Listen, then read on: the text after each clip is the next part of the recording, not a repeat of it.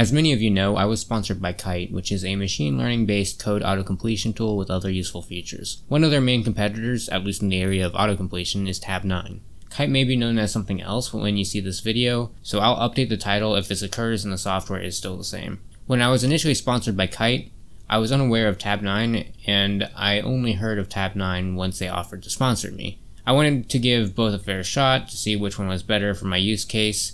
I'll say right up front that I found Tabnine to fit my use case better than Kite, so as of this video I am no longer sponsored by Kite, and I'll be removing all the links from my descriptions. I also want to be very clear in saying that Kite is also a very good product and worth considering depending on your specific use case, which I'll get into a bit in this comparison video. This video is not sponsored, and neither Kite nor Tabnine will see this video before it's released, or have any control over what I say here. However, they both gave me keys for their respective pro versions, neither of which asked me for a review though. I used both Kite and Tabnine, both free and paid versions, over the last several months.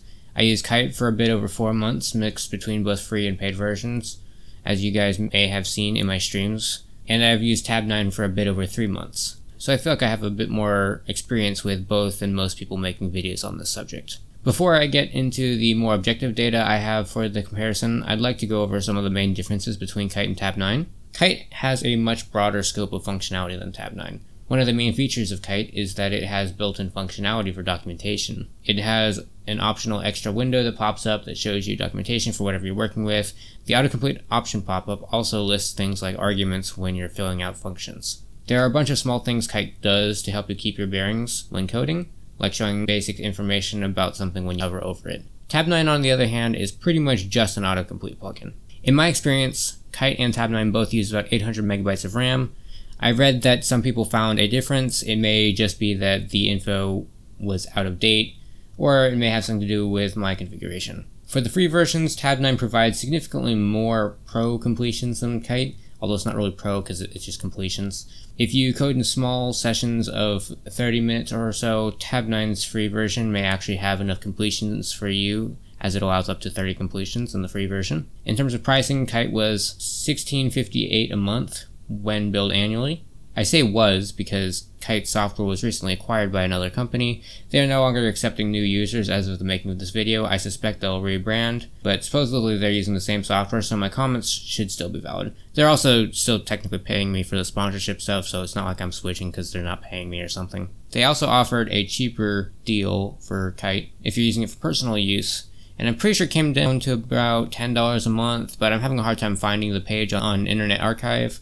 Tabnine is slightly more expensive, coming in at $12 a month, but I know many of my viewers are students. I'm a senior in university myself. Tabnine recently became free for students as long as you have a student email with a .edu domain, so I suspect that about half my audience can actually get it for free. Now for the more objective data.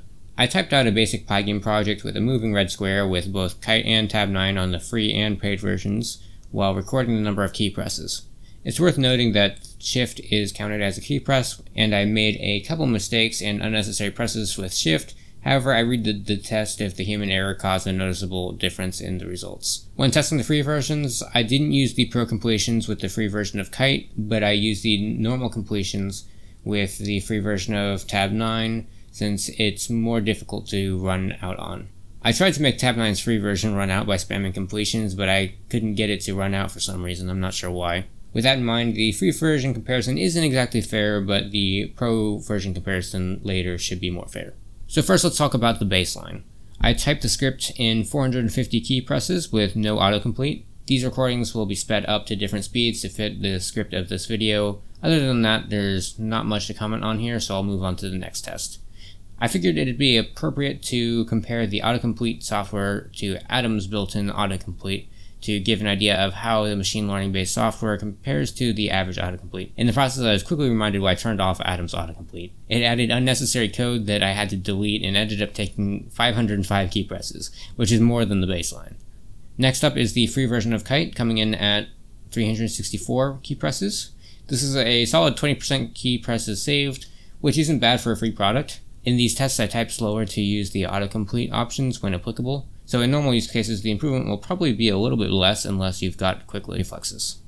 Kite Pro ended up taking 277 key presses, which is a huge improvement. It saved me from almost 40% of the key presses. It's a very solid product on its own, which is why I was previously sponsored by them. Now for Tabnine. With the free version of Tabnine, I was able to type the script in 220 key presses. It was able to outperform Kite Pro primarily due to the longer suggestions it provided that were surprisingly accurate. 220 keystrokes means that I ended up using less than half the keystrokes I would have had I not used it in autocomplete. With Tabnine's free version out of the way, it's time to talk about Tabnine Pro. Tabnine Pro supposedly uses a better machine learning model and trains on your code. The key press count came in at 208, which is within the margin of error relative to the free version. It felt about the same, but I must say that I could tell that Tabnine Pro was adjusting to the way I coded when I used it for my own personal work, which is very useful. So it gets a bit better over time. I believe Kite Pro does the same thing, but a lot of info has been removed from their website as of now. Tabnine Pro has a semantic completion mode, which had similar results, so I didn't bother to include it. Now that I've finished the semi-objective portion of the comparison, I'd like to get to my final thoughts. While Kite is arguably better if you're learning new libraries and working with stuff unfamiliar to you, I feel that Tabnine's completions are significantly better. From what I can tell, this is primarily because Tabnine attempts to provide longer suggestions. By the time I've read Kite's suggestions, I've typed a good portion of the suggestion itself. So they don't save me as much as Tabnine's longer suggestions. I also work with libraries I'm very familiar with 90% of the time, so Kite's documentation functionality isn't super useful for me, although it may be useful for you. In my opinion, the better fit heavily depends on what type of programming you do and how fast you type. Although, for those of you who are students, the free offer for Tabnine Pro is an offer that can't really be beaten. While I've been testing out both Kite and Tabnine for my personal projects at home, I've been going without them at work so that I'm switching back and forth constantly, and I must say that there's a stark difference between using machine learning based autocomplete and not using it. Everything feels slower and more tedious without it.